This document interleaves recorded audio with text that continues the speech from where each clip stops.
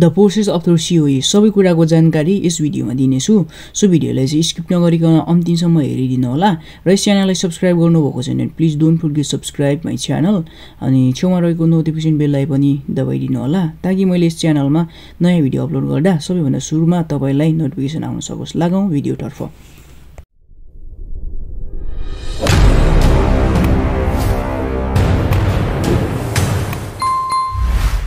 So hi every हो नमस्कार सबैजनालाई। Welcome back again this on our new video र आजको भिडियोमा मैले तपाईँहरूलाई के बारेमा बोल्न गइराखेको छु इन्ट्रो हेरेर थाहा पाइसक्नु भएको छ। र सबैभन्दा सुरुमा म तपाईँहरूलाई चाहिँ धेरै धेरै बढाइदिन चाहन्छु किनभने तपाईँ पनि जापान आउन पाउनु भएको छ। सो सिओए आइसकेपछि सबैभन्दा सुरुमा चाहिँ तपाईँले चाहिँ पाती गर्नु साथीहरूसँग भेटेर।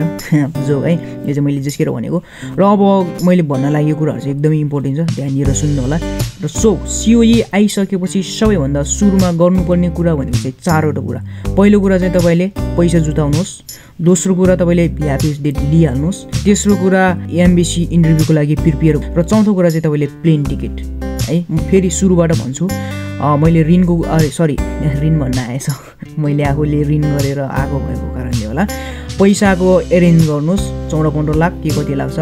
है त्यो एरेन्ज गरिसक्नुभयो भने गरि नसक्दा अथवा गरिसक्दा जहिले पनि त्यति बेला चाहिँ अब तपाईँले भिआइपिएस डेट पनि लिइहाल्नुहोस्। भिआइपिएस डेट चाहिँ किन पहिले लिने भनेदेखिलाई चाहिँ पछि चाहिँ एकदम धेरै टाइट हुन्छ। मान्छेहरू धेरै हुन्छ डेट पाउँदैन क्या पछि चाहिँ अनि मेरो केस पनि त्यस्तै भएको थियो। पछि पाइहाल्छ नि भनेर चाहिँ भिआइपिएस डेट नभरेको कारणले पछि चाहिँ भिआइपिएस डेट नै नपाएर झन्डै म डेढ महिनापछि मात्रै भिआइपिएस डेट पाएको थिएँ मैले। अनि त्यही भएर आउन एकदम छिटो भएको जापान। अनि जापान चाहिँ किन छिटो आउने भनेदेखिलाई चाहिँ तपाईँ अप्रिल इन्टुको हुनुहुन्छ भने तपाईँले होस्टेल फी चाहिँ अप्रिलबाट नै तिर्नुपर्ने हुन्छ क्या अब जुन र जुलाईसम्म पनि लगभग मान्छेहरू चाहिँ आउँछ। अनि तपाईँ जुलाईमा आए पनि तपाईँले अप्रिलबाट नै तपाईँले होस्टेल फी चाहिँ तिर्नुपर्ने हुन्छ। सो त्यही भएर तपाईँलाई घाटा लाग्छ। अनि त्यही बेला तपाईँ चाहिँ जुलाईमै आउनुभयो भने त तपाईँलाई फाइदा भयो नि त। अनि सो त्यही भएर मैले यो सजेस्ट गरेको। अनि अर्को कुरा चाहिँ मैले चाहिँ एमएससी इन्टरभ्यूको लागि चाहिँ प्रिपेयर हुनु भनेर भने अनि त्यो चाहिँ किन भनेदेखिलाई चाहिँ तपाईँलाई जसलाई पनि इन्टरभ्यूमा बोलाउन सक्छ क्या इभन तपाईँको के अरे जेएलसिटीको अथवा चाहिँ न्याटको सर्टिफिकेट छ भने चाहिँ एकदम हाई हुन्छ तपाईँलाई चाहिँ इन्टरभ्यूमा नबोलाउने। इभन तपाईँको चाहिँ त्यो कुनै पनि सर्टिफिकेटहरू केही पनि छैन भने चाहिँ तपाईँले हन्ड्रेडमा लगभग नाइन्टी नाइन पर्सेन्ट चाहिँ तपाईँलाई चाहिँ इन्टरभ्यूमा बोलाउँछ। अनि इफ तपाईँको चाहिँ कुनै सर्टिफिकेटहरू छ जिएलसिटीको जेसटको होइन अनि अरू के के हुन्छ न्याटको तिनीहरूको सर्टिफिकेट छ भने चाहिँ लगभग फिफ्टी फिफ्टी हुन्छ। तपाईँले बोलाउनु पनि सक्छ नबोलाउनु सक्छ तर अधिकांश चाहिँ बोलाउँदैन है। यदि तपाईँसँग चाहिँ सर्टिफिकेटहरू चाहिँ छ भनेदेखिलाई त्यो कुरामा प्रिपेयर हुनुहोस् र मैले अर्को कुरा गरेको थिएँ मैले प्लेन टिकटको बारेमा। यदि तपाईँले चाहिँ होइन सबैभन्दा सु एक महिना अघि नै एक डेढ महिना अघि नै प्लेन चाहिँ रिजर्भ गर्नुभयो भने आफ्नो सिट चाहिँ रिजर्भ गर्नुभयो भने तपाईँले धेरै सस्तो पर्नु जान्छ। उदाहरणको लागि चाहिँ म जापान आउँदाखेरि मसँगै बसेको साथीको चाहिँ जम्मा बाहन्न हजार मात्रै उसले तिरेर आएको थियो होइन अनि मलाई चाहिँ पचासी हजार परेको थियो। त्यो चाहिँ किन भनेदेखिलाई उसले एक महिना अघि नै रिजर्भ गरेको रहेछ र मैले चाहिँ आउनुभन्दा एक हप्ता अगाडि रिजर्भ गरेको थिएँ। अनि त्यही भएर मलाई चाहिँ झन्डै तिस हजार नै भनौँ न होइन? तिस हजार चाहिँ मलाई चाहिँ बढी परेको थियो। अनि त्यो भएको कारणले तपाईँले अलिकति प्रफिट हुन आउँछ। तपाईँले अघि नै यो प्लेन टिकट चाहिँ रिजर्भ गर्नुभयो भने अनि यो कुरा चाहिँ तपाईँले बुझेर गर्नुहोला। सो पहिलो नम्बरको चारवटा कुराहरू चाहिँ यिनै थिए र दोस्रो नम्बरमा चाहिँ तपाईँले पर्सनल प्यान कार्ड बनाउनु पर्ने हुन्छ। अनि पर्सनल प्यान कार्ड बनाउनुको लागि तपाईँ चाहिँ राजस्व विभागमा जानुहोस्। अनि राजस्व विभागमा गइसकेपछि बाहिर पसलहरू हुन्छ लाइक साइबर टाइपको उनीहरूलाई चाहिँ भन्यो भने उनीहरूले पर्सनल प्यान कार्डको लागि फर्म चाहिँ अनलाइन फिलअप गरिदिन्छ। अनि त्यसको लागि चाहिँ दुई सय तिन सय मेबी चार्ज लिन्छ। अनि तपाईँले पर्सनल प्यान कार्ड बनाउनुको लागि नागरिकता लिएर जानुहोस् र एउटा फोटो लिएर जानुहोस्। एउटा होइन दुईवटा जति तिनवटा जति फोटो लिएर जानुहोस् न होइन? अनि त्यो गर्नुभयो भने एक आधा घन्टामा चाहिँ तपाईँको प्यान कार्ड पनि बन्छ। अनि त्यसपछि तपाईँले तेस्रो नम्बरमा चाहिँ जापानमा आफ्नो गाकोमा चाहिँ फी हाल्नुपर्ने हुन्छ सो गाकोमा फी हाल्नको लागि तपाईँले कन्सल्टेन्सीबाट गाकोको गिन्गोको बाङ्गो अनि जिसोहरू चाहिँ लिएर आउनुहोस् र तपाईँको जुन ब्याङ्कमा चाहिँ तपाईँको खाता छ त्यही खाता भएको ब्याङ्कबाट नै हाल्नुभयो हुन्छ। किनभने अरू ब्याङ्कबाट गर्दाखेरिलाई अलिक धेरै चाहिँ पैसा लाग्न सक्छ क्या चार्ज काट्न सक्छ। उनीहरूले सर्भिस चार्ज लिन्छ अनि नेपाल सरकारले कति दुई पर्सेन्ट कि तिन पर्सेन्ट कति चार्ज लिन्छ होइन तपाईँले जति यता पैसा पठाउनु भयो त्योबाट चाहिँ चार्ज लिने गर्छ। अनि तपाईँ गा ब्याङ्कमा गएर फर्म फिलअप गर्नुपर्ने हुन्छ। दिन उनीहरूले चाहिँ तपाईँको एकाउन्टबाट अटोमेटिकली नै पैसा काटि काटिदिन्छ। अनि त्यति गर्नुभयो भने तपाईँको पैसा चाहिँ गएकोमा आउँछ। अनि गएकोले चाहिँ पैसा रिसिभ गर्यो भने तपाईँको ओरिजिनल सिओई चाहिँ कन्सल्टेन्सीमा पठाउँछ। लगभग एक हप्ता दुई हप्ताभित्रमा गइसक्छ। अनि त्यो लिएर चाहिँ तपाईँले अब चाहिँ भिआफएस जानुपर्ने हुन्छ। तपाईँले अलरेडी नै भिआफएस डेट लिइसक्नु भएको छ। होइन लिइसक्नु भएको भएपछि चाहिँ तपाईँले भिआफएस डेट कुन डेटमा छ त्यो डेटमा चाहिँ लिएर जानु होला। कति नम्बरमा? चौथो पाँचौँ नम्बरमा पुगिसक्यो। म बाङ्गोहरू भन्दैन अहिले। अब यही यही कुरा गर्नुहोस् न। भिआरपिएसमा जानुहोस्।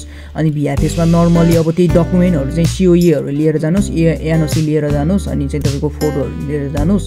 एन्ड देन अरू त के के पर्छ? कन्सल्टेन्सीलाई पनि सोध्नुहोस् न है। मैले अलिकति बिर्सेँ पनि होला। अनि यो लिएर चाहिँ भिआरपिएसमा जानुहोस्। अनि भिआरपिएस डेट लिइसकेपछि के अरे तिन दिनसम्म भित्रमा चाहिँ तपाईँले कल आउँछ।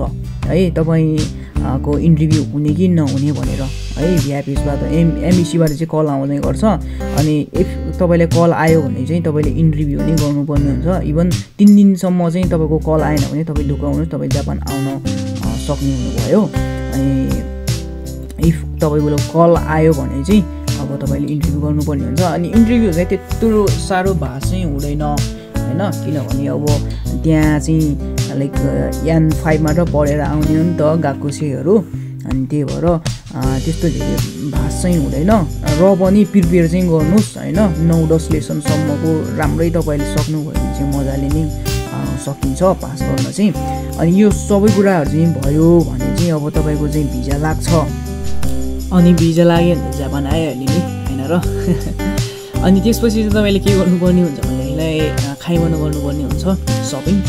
अनि सपिङ चाहिँ तपाईँको अब त्यही हो साठी सत्तरी हजार पचास हजार भनौँ न। पचास हजारदेखि तपाईँको एक लाख डेढ लाखसम्म चाहिँ अब तपाईँले जान्छ। त्यो तपाईँमा भर पर्ने कुरा कति धेरै खर्च गर्ने के के सामान किन्ने भन्ने कुरा। अनि तपाईँले नबिर्सिकन ल्याउनु पर्ने कुरा भनेको चाहिँ तपाईँले कुकर प्रेसर कि प्रेसर कुकर हो? मलाई भन्नु नि आउँदैन। हो यो चाहिँ लिएर आउनु होला किनभने जापानमा अलिकति एक्सपेन्सिभ पनि छ होला होइन? त्यो मैले फेरि कहाँ पाउँछ त्यो थाहा पनि छैन है?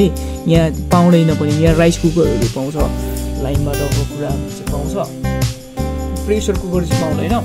अनि त्यो चाहिँ लिएर आउनु होला किनभने त्यो पछि पनि काम लाग्ने भएको कारणले। अनि आफूले खानको लागि प्लेटहरू ग्लासहरू यो कुराहरू चाहिँ नबिर्सिकन तपाईँको कन्सल्टेन्सीले ए पर्दैन नलग भनेर भने पनि तपाईँले लिएर चाहिँ आउनु होला किनभने त्यो दुई तिन केजी तिन चार केजी मात्रै हुन्छ। अनि तपाईँको एयरपोर्टमा तपाईँको वेट भनेको त्यही लगभग तिस केजीको अराउन्ड हाउसमा पैँतिस केजीसम्म लिन पाउँछ। अनि ह्यान्ड क्यारीहरू पनि तपाईँले दुइटासम्म चाहिँ बोक्न पाउनुहुन्छ। अनि त्यही भएर तपाईँले लिएर आउन सक्नुहुन्छ यो कुराहरू चाहिँ। अनि तपाईँले अर्को गर्नु नहुने काम भनेको के हो भने तपाईँ जापान आउँदाखेरि नेपालबाट खाद्यान्न कुराहरू चाहिँ नल्याउनु होला जस्तो दालहरू होइन घिउहरू यो धेरै प्रचलन छ क्या। अनि बाउआमाहरूले पनि फेरि ए लिएर जान त मायाले दिनुहुन्छ राखिदिनुहुन्छ। अनि नलिँदा गाली पनि गर्नुहुन्छ तर तपाईँले नल्याउनु होला। किनभने यो कुराले चाहिँ तपाईँलाई जापानमा ल्यान भइसकेपछि एकदम असर गर्न सक्छ होइन। यहाँ फाइन हानिदिन्छ क्या यो खाद्यान्न कुराहरू चाहिँ लिन पाइँदैन। अनि त्यो भएको कारणले मैले पनि ल्याएको थिएँ लिन त फेरि तपाईँले सोच्नु आफूले लगेर मलाई नलि भन्छस् भनेर भन्नु होला। तर कस्तो हुन्छ भनेर कहिलेकाहीँ चाहिँ यसरी टाइट चेक भइराख्यो हुँदैन। त्यो बेलामा चाहिँ फुर्कियो भने फुर्कियो जस्तो म फुर्किएँ होइन?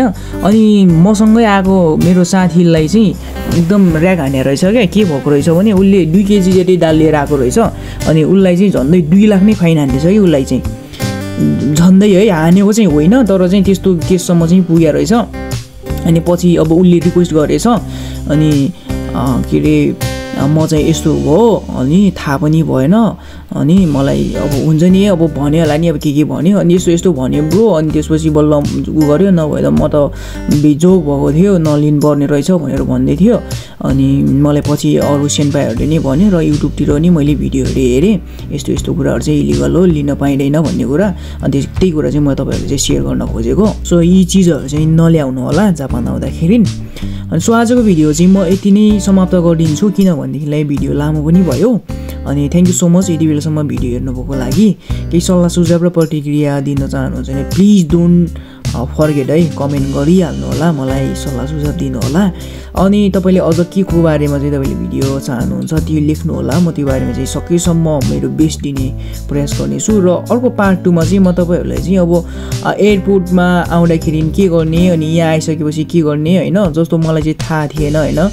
अनि यहाँ एयरपोर्टमा आइसकेपछि त्यो प्रोसेस नगरेर झन्डै एक महिनासम्म मैले यहाँ कामै पाएन होइन। अनि एकदम स्ट्रेस पनि भयो चिन्ता पनि लाग्यो होइन। त्यो कुराहरू चाहिँ बिर्सिनै गर्नै पर्ने कुराहरू चाहिँ अझै भन्न बाँकी छ। सो म त्यो कुराहरू चाहिँ पार्ट टूमा भन्नेछु सो आजको लागि चाहिँ मलाई बिदा दिनुहोस्। मिलाउला अर्को भिडियोमा। By by